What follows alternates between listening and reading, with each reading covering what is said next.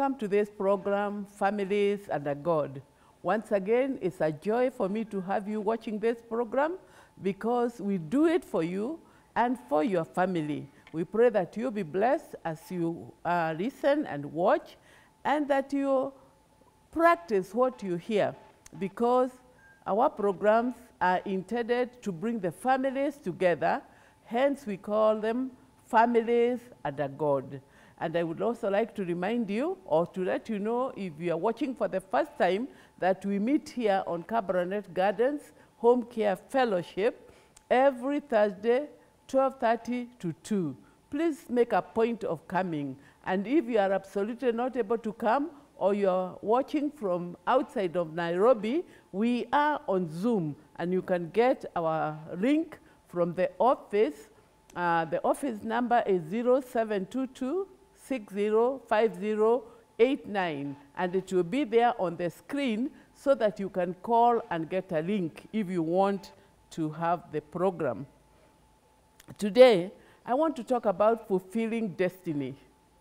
Uh, as I'm getting older, I'm looking at people who have uh, missed their destiny, missed the plan of God for their lives, and they feel like it's useless now to try. I'm too old, or I'm too poor, or this or that, and they give excuses. But I want to say, even from this message, and as I was preparing it, the Lord was encouraging me that anytime we can fulfill our destiny, we don't have to say that because I lost it, because I missed it, because I got pregnant when I was in school, because I was married early, or because I'm a widow, or because I'm jobless, that everything is off completely. No. God gives us many, many chances, and God is there for us all the time. The story that was encouraging me and which I would like us to share today comes from the book of Ruth. And some of you have read uh, the book of Ruth, others have not. But I would like us to read from Ruth chapter 1, and I'm reading the first seven verses. But I would uh, like to encourage you to read all of it because it's such a beautiful, romantic story. And let me tell you, I like these stories that talk about romance. We met, we, we talked, we got married, and on and on. And this is that, that kind of uh, story. Uh, Ruth chapter 1, verses 1 to 7. Long ago, and this is true, it's not, uh, it's not a parable, it is a true story. And it says, Long ago, in the days before Israel had a king, there was a famine in the land. So a man named Elimelech, who belonged to the clan of Ephrath and who lived in Bethlehem in Judah, went with his wife Naomi and their two sons, Mahlon and Chilion, to live for a while in the country of Moab. While they were living there, Elimelech died, and Naomi was left alone with her two sons, who married Moabite women, Orpah and Ruth. About 10 years later, Maron and Chilion also died, and Naomi was left all alone without husband or sons. Sometime later, Naomi heard that the Lord had blessed his uh, people by giving them good crops, so she got ready to leave Moab with her daughters in law. They started out together to go back to Judah. But on the way, she said to them, Go back home and stay with your mothers. May the Lord be as good to you as you have been to me and to those who have died. And may the Lord make it possible for each of you to marry again and have a son. So Naomi blessed them and said goodbye. But they started crying and said to her, No, we will, we will go with you to your people. You go back, my daughters. Naomi answered, Why do you want to come with me? Do you think I could have sons again for you to marry? Go back home, for I am too old to get married again. Even if I thought there was still hope and so got married tonight and had sons, would you wait until they had grown up? Would this keep you from marrying someone else? No, my daughters. You know that's impossible. The Lord has turned against me, and I feel very sorry for you. I could read the whole story, but time will not allow. That's why I have said, please read that whole story. And you will acquaint yourself with a woman who had every reason to quit, to give up, but she didn't. A woman who, in the span of 10 years, lost a husband and two sons. And that's all she had. It's not that she lost her husband and two sons, but had other sons that remained. No, that's all that she had. And you know, she and her husband and their two sons had left home in Bethlehem, Judah, because of famine and moved to a foreign country in Moab. They had moved from the familiar comfort of home to unfamiliar discomfort for survival. But as fate would have it, for Naomi, circumstances moved from bad to worse, running away from a famine. But when she got to Moab, she did not only uh, lose a son, as I have already said, or just the two sons and remained with the husband, but she lost the husband and the two sons. What a tragedy. She's left with her daughters in law, Oprah and Ruth. Three widows, three in the span of 10 years. That is sad. That is what you call a crisis in a family, and it is in one family. For a moment, imagine the mourning period. In a span of 10 years, you finish mourning for the husband who died first, then the next son, and then the next one. She lost those that were very, very dear to her. We are not told what caused the death. Yet, before she could heal from mourning for one, then another died, and another. Think about mothers and their sons. The loss was unbearable. Naomi could have quit. And I'm talking today to someone who is about to quit. Someone who is saying, What's the point of life?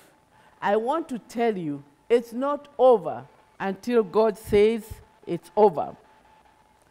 This tragedy, however, could not thwart the plan of God. In the plan of God, there was the seed chosen to bring forth Christ, a seed from Judah, Bethlehem, of the tribe of Judah. Naomi had been earmarked or predestined to incubate this seed even before the foundations of the earth and bring forth the son to ensure continuity of the seed that would bring Jesus Christ.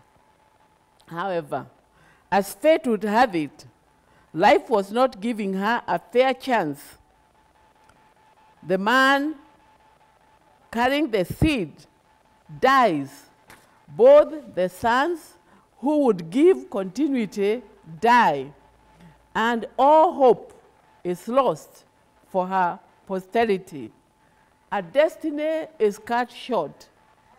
There is no seed, not just any seed, because then she could have remarried and bore a child, but that seed would not be in the order of the tribe of Judah, that was going to bring Jesus Christ.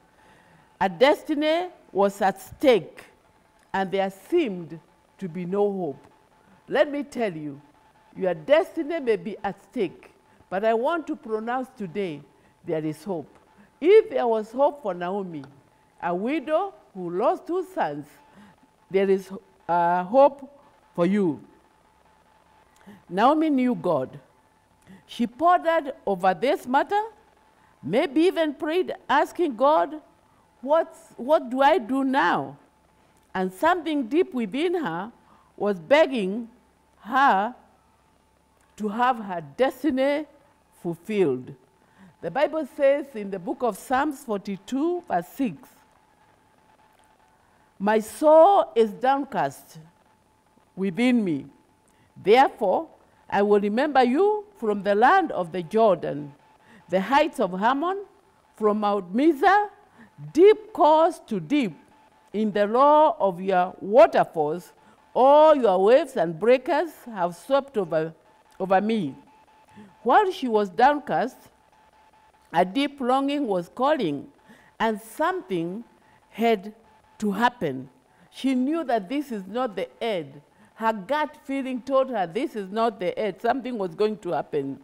So she resolved to position herself and to go for her destiny in faith. How did she do it?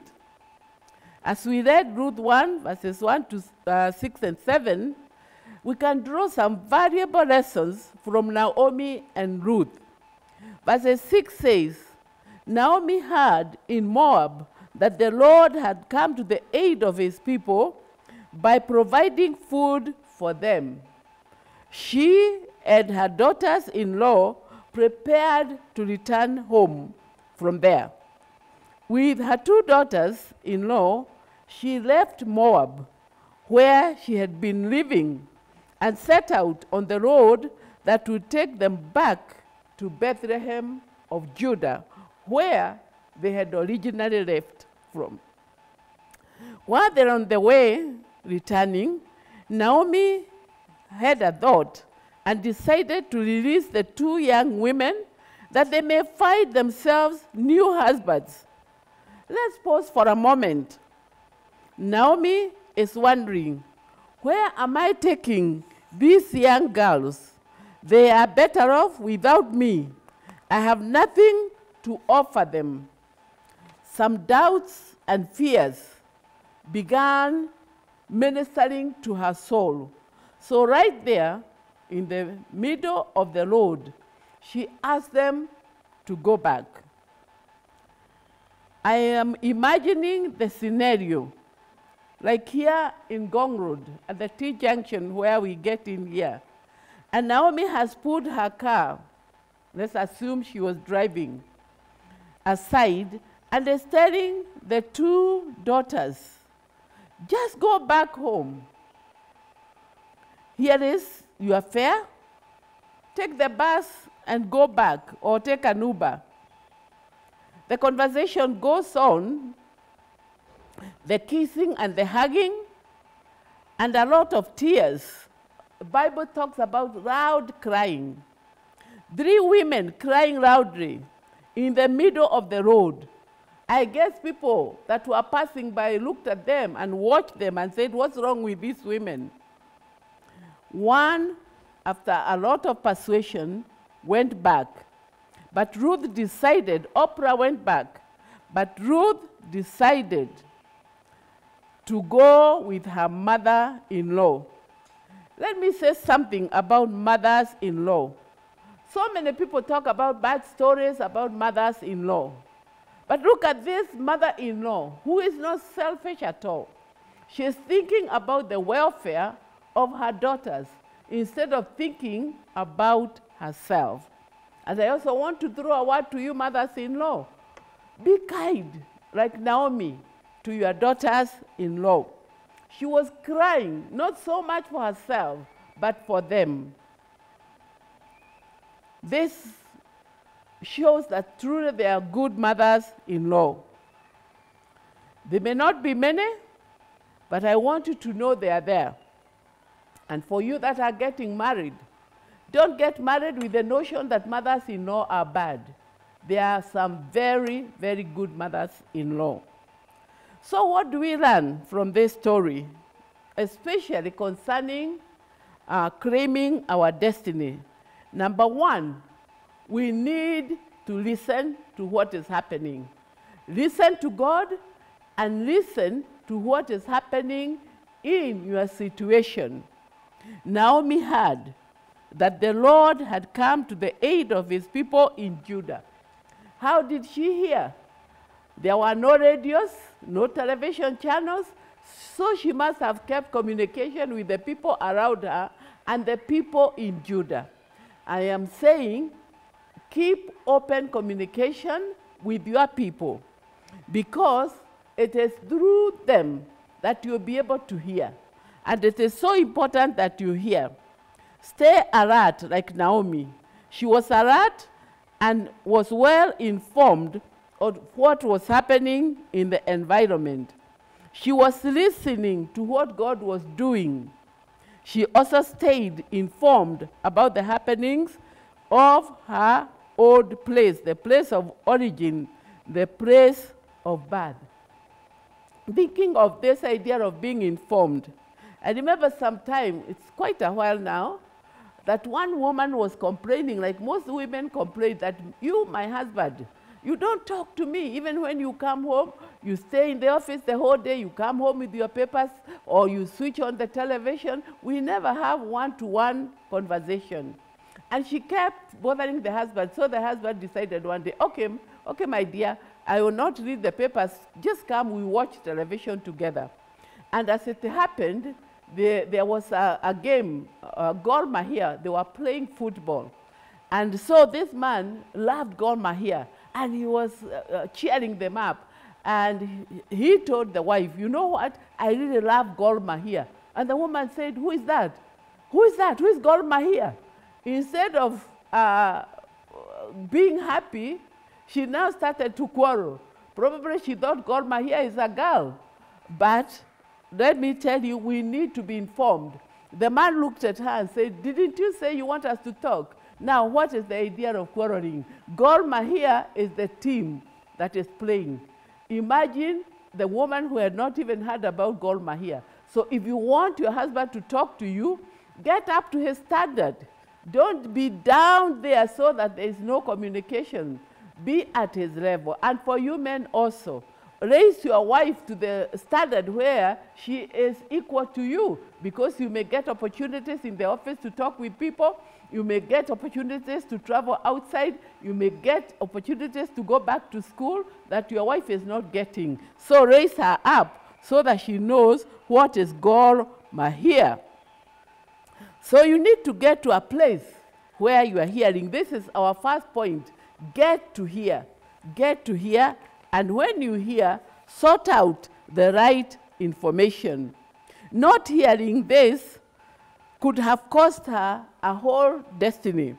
So we need to be hearing what God is doing and decide what we are going to do. She heard of his provision.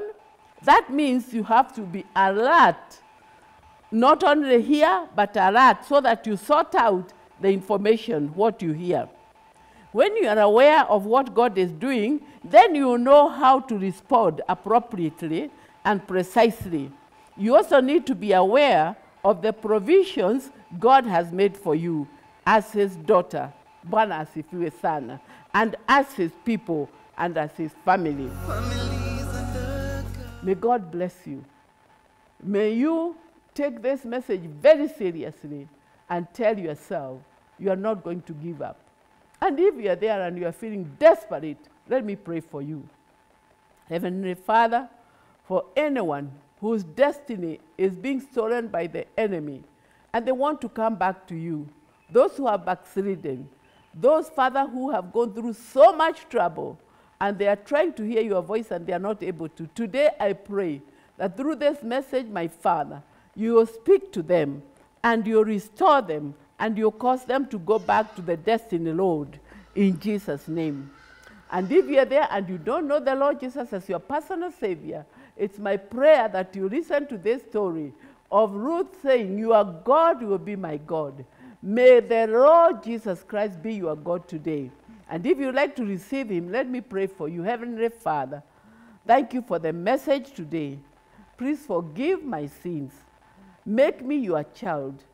Help me to go back on the destiny road, the road to heaven. And Father, help me to make it in Jesus' name. Amen. Amen. If you'd like to come to home care, as I said, we meet every Thursday, 12:30 to 2:30, and you can also be on Zoom, and I know you will be blessed. God bless you. Have a good day. Amen. Uh, good evening, viewers. My name is Veronica Kigondu, working with Home Care Spiritual Fellowship with Reverend Dr. Judy Mbugua. And uh, this evening we are going to be talking about uh, widowhood. And we have our guest, Elizabeth. Welcome to our program. Thank you. My name is Elizabeth Knight. I'm a mother of five kids and four grandchildren. I stay in Kibera slums and I'm a widow. You, are, you, say, you, you said you're a widow with uh, five children and four grandchildren. Uh, kindly let us get to know the, that the, how the journey has been uh, taking care of these kids single-handedly. I was married for 12 years. Then my husband started being sick. That was the year 20, 2004, 2003 there. Then he was taken to the village and he passed on. So that's how I became a widow and I was left with my five children. Life has not been so good. I've been suffering with the children. I was doing these casual works like washing, doing what. All my in-laws, my my brother-in-laws, they brought a man and forced me the first inheritance. So I had to run away from the village and come back to Nairobi with my five children. So I've been suffering with them. I've been doing all those casual jobs so that I can feed my children. And even going to school or feeding themselves, I could not. It was so hard for me.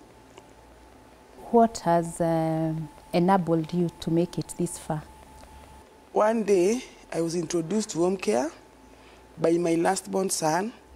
He was going for the feeding program in Salvation Army Church in Kianda. So that's why I came to home care.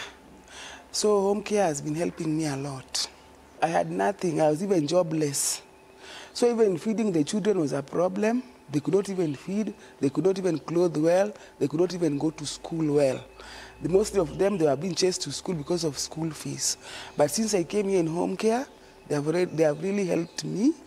They have been paying my son's school fees through OVC. I've been receiving food. I've been receiving some money to start business and even spiritual. We come here as sisters, we eat together, we pray together. So that one has, has even built my spirit. And now I don't I'm not suffering a lot. At least I got a, a shoulder to lean on through home care program. Uh, thank you so much, Elizabeth, for sharing your story with us. Um, we have heard about the challenges that the widows go through, uh, wife inheritance, joblessness, having to take the care of the children single-handedly. Uh, but we thank God because in, uh, in the book of, in the Bible, the book of Deuteronomy chapter uh, 10 verse 18 gives us hope. It gives hope to the widows. And I will read Deuteronomy chapter 10 verse 18. He makes sure that orphans and widows are treated fairly. He loves the foreigners who live with our people and gives them food and clothes. Thank you so much for joining us in the program. As we said, a word of encouragement to all the widows. And also, I would like to share the word in James, James chapter 1, verse 27, which says, uh, What God the Father considers to be pure and genuine religion is this to take care of orphans and widows in their suffering and to keep oneself from being corrupted by the world. Uh, thank you so much, our viewers. As you have heard Elizabeth tell us, uh, we have uh, programs at home care that are supporting the needy and the vulnerable. And one of them is uh, our orphaned and vulnerable uh, children program, whereby we support uh, children. We have a feeding program and an, education program. We are educating 195 children in primary school, secondary, and university and college level.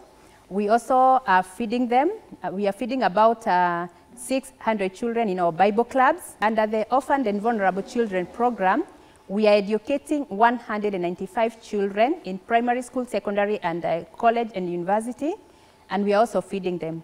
We have nine Bible clubs, and uh, we feed them. We feed, the. We have 600 children that we feed every Saturday, and also we have now the Fadhili Women Program, whereby we are taking care of the widows. We have about uh, 25 of them. We have the Fadhili Women Program, whereby we are, we are supporting uh, 45 women, uh, 25 of them as widows. Uh, we, we also we nurture them spiritually and also feed them. We have uh, the Bethel Dressmaking School, whereby we are training the school dropouts from Kibera, training them on dressmaking, and upon doing the government trade test, when they pass, we normally give them a machine so that they can start a business. If you'd like to partner with, it, with us in this program, feel free to contact us on 0722 605089. Thank you so much for watching us. God bless you and have a blessed week. Usinipite unisikie